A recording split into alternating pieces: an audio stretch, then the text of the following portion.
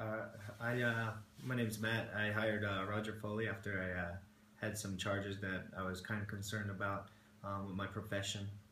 Um, I was very scared, and then uh, I come to him. I talked to him. Uh, he he put me to ease, and um, it come out today that all my charges were dropped. So I just want to thank uh, Roger Foley for. Um,